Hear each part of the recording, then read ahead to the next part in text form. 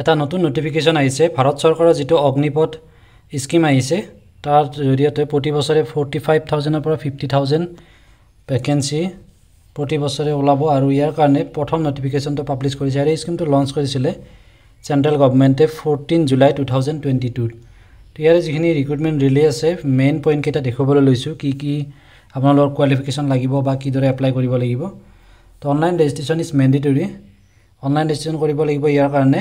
Join Indian army dot N I C dot in এই ৱেবছাইটত গৈ আপোনালোকে নিজৰ নিজৰ ৰেজিষ্ট্ৰেশ্যনটো কৰিব লাগিব। আৰু ৰেজিষ্ট্ৰেশ্যন ষ্টাৰ্ট হ'ব from July twenty two thousand twenty two onwards by respective A R O' and Agniveer general duty Agniveer technical Agniveer technical aviation ammunition examiner ইয়াৰ পিছতে Agniveer clerk store keeper technical ইয়াৰ পিছত Agniveer tradesmen ten pass and Agniveer tradesmen eight pass as per the A আৰু rally schedule ইয়াতে এইখিনি চাৰি বছৰৰ কাৰণে engage কৰিব প্ৰথম অৱস্থাত। আৰু তাৰ গোটেইখিনি ডিটেইলছ দেখুৱাবলৈ লৈছোঁ।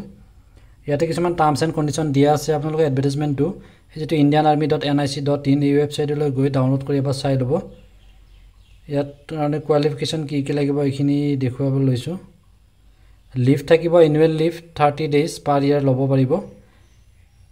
চাৰি বছৰত প্ৰতি বছৰে কিমান কিমানকৈ পে' কৰিব এইটো ইয়াতে লিষ্টখন দিয়া হৈছে। প্ৰথম বছৰত year one thirty thousand next year টুত thirty three থাউজেণ্ডকৈ দিব ইয়াৰ থ্ৰীত দিব thirty six thousand five hundred আৰু ইয়াৰ ফ'ৰ অৰ্থাৎ লাষ্ট ইয়াৰত ফৰ্টি থাউজেণ্ডকৈ থাকিব। প্লাছ এপ্লিকেবল এলাৱেঞ্চখিনি থাকিব আৰু থাৰ্টি ডেইজৰ ছুটি ল'ব লাগিব ল'ব পাৰিব প্ৰতি বছৰে। চাৰি বছৰৰ কাৰণে এংগেজ কৰিব। ইয়াৰে এক্সট্ৰা বেনিফিটবিলাক দিয়া আছে ইয়াতে থাৰ্টি পাৰ্চেণ্ট বা যিখিনি লাইফ ইঞ্চুৰেঞ্চ থাকিব তেনেকুৱা ধৰণৰ। ইয়াৰ কাৰণে কোৱালিফিকেশ্যনটো প্ৰথমতে দেখুৱাই লৈছোঁ কি কি লাগিব। লাইফ ইঞ্চুৰেঞ্চ থাকিব আপোনাৰ ফৰ্টি এইট লাখছলৈকে ইয়াত দিয়া আছে কি কি benefits and personnel exiting at four years of service চাৰি বছৰৰ পিছত কি কি পাব? ছেভেন ই ডি পেকেজ পাব। নেক্সট অগ্নিবীৰ স্কিল চাৰ্টিফিকেট পাব। Class twelve certificate who have been enrolled after qualifying the tenth a certificate of twelve equivalent will be given on completion of four years engagement period যদি ten pass কৰি আপুনি ইয়াতে engage হয় এইটো twelve pass certificate পাব ছেপাৰেটকৈ এইখিনি আপোনাৰ extra থাকিব অনলাইন ৰেজিষ্ট্ৰেশ্যনৰ প্ৰচিডিউৰটো হৈছে join Indian army dot N I C dot in এই ৱেবছাইটটোলৈ গৈ আপোনালোকে গোটেইখিনি চেক কৰিব পাৰিব এলিজিবিলিটি ক্ৰাইটেৰিয়া বা ষ্টেটাছ গোটেইখিনি ইয়াৰ পিছত ইডুকেশ্যনেল কোৱালিফিকেশ্যনটো ইয়াত দিয়া হৈছে। অগ্নিবীৰ জেনেৰেল ডিউটি ইয়াৰ কাৰণে কি কি লাগিব? ক্লাছ টেন বা matric with forty five percent marks in aggregate and thirty three percent in each subject অৰ্থাৎ আপোনাৰ অভাৰঅল পাৰ্চেণ্টেজটো ফৰ্টি ফাইভ পাৰ্চেণ্ট থাকিব লাগিব ক্লাছ টেন অৰ্থাৎ মেট্ৰিকত আৰু প্ৰতিটো ছাবজেক্টত থাৰ্টি থ্ৰী পাব লাগিব।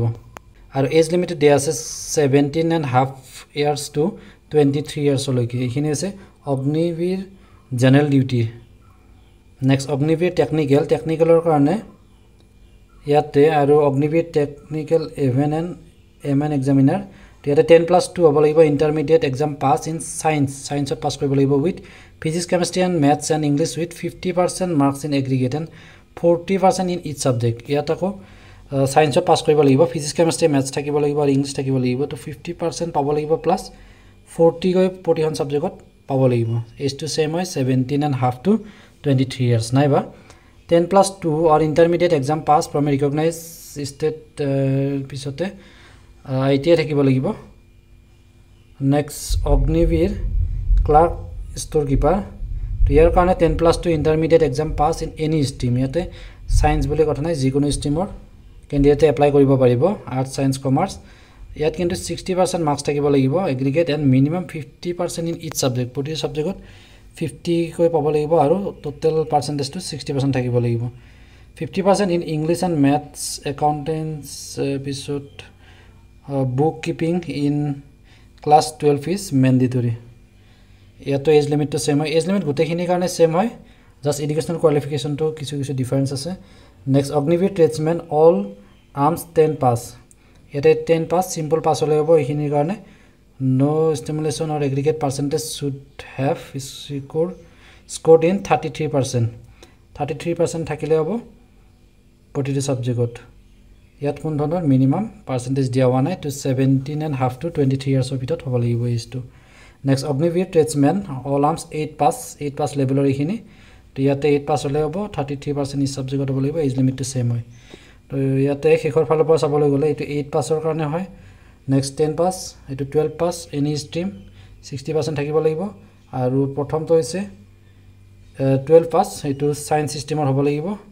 আৰু একেবাৰে ওপৰত থকাটো অৰ্থাৎ যিটো অগ্নিবীৰ জেনেৰেল ডিউটি আছিলে ইয়াতে টেন পাছ হয় ফৰ্টি ফাইভ পাৰ্চেণ্ট থাকিব লাগিব আৰু থাৰ্টি থ্ৰী প্ৰতিটো ছাবজেক্টত এজ লিমিটটো গোটেইখিনিৰ কাৰণে ছেম হয় seventeen half to twenty three years ইয়াৰ পিছতে ৰিলেক্সেশ্যনবিলাক থাকিব।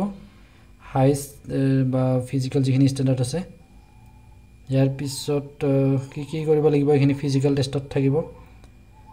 গ্ৰুপ ওৱান আৰু গ্ৰুপ টু ৰানিং বা বিম পুল আপছ থাকিব। নাইন ফিট লং জাম্প থাকিব এইখিনি। তো আপোনালোকে এইখিনি চাই ল'ব। এডমিট কাৰ্ডবিলাক ইমেইলৰ জৰিয়তে তেওঁলোকে চেণ্ড কৰিব। যিটো ইমেইল নাম্বাৰেৰে আপোনালোকে ৰেজিষ্টাৰ কৰিব সেইটোৰে এডুকেশ্যনেল চাৰ্টিফিকেট ইয়াৰ পিছত ডমিচিয়েল চাৰ্টিফিকেট লাগিব কাষ্ট চাৰ্টিফিকেট এই গোটেইখিনি ডকুমেণ্টছ লাগিব। স্পৰ্টছ চাৰ্টিফিকেট যদি আছে তেনেহ'লে সেইখিনি দিব লাগিব এফিডেভিট ইয়াৰ পিছত বোনাছ মাৰ্কছবিলাক দিয়া হৈছে ইয়াতে কেটেগৰী ৱাইজ কিমান কিমান থাকিব। তো ছাৰ্ভিচমেন চন অফ ছাৰ্ভিচমেন হ'লে টুৱেণ্টি মাৰ্কছ থাকিব। তেনেকুৱাকৈ N C C certificate A certificate থাকিলে ফাইভ মাৰ্কছ পাব বি থাকিলে টেন মাৰ্কছ পাব তেনেকুৱাকৈ। এইখিনি বোনাছ মাৰ্কছৰ ডিটেইলছ ইয়াত দিয়া হৈছে। তো আপোনালোকে এবাৰ এডভাৰ্টাইজমেণ্টটো ডাউনলোড কৰি চাই ল'ব। তেতিয়া গোটেইখিনি ক্লিয়াৰ হ'ব। মেইন পইণ্টখিনি আপোনালোকক কৈ দিলোঁ ভিডিঅ'টো ভাল লাগে লাইক কৰিব আৰু বিভিন্ন ধৰণৰ জব ৰিলেটেড আপডেটছবিলাক লাভ কৰি থাকিবলৈ আমাৰ চেনেলটো ছাবস্ক্ৰাইব কৰিবলৈ নাপাহৰিব। ধন্যবাদ।